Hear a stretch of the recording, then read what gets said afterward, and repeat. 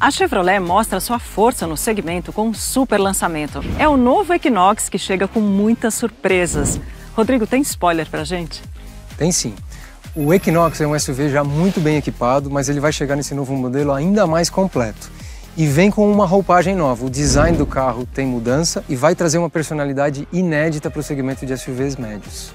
Além disso, a conectividade vai dar um salto de tecnologia, oferecendo muito mais benefícios para o cliente. O Equinox está saindo do forno e vai chegar na rede de concessionários Chevrolet antes do final desse ano. O Equinox ele é mais ágil, mais confortável, mais espaçoso e mais gostoso de dirigir. É o SUV para quem gosta de carro.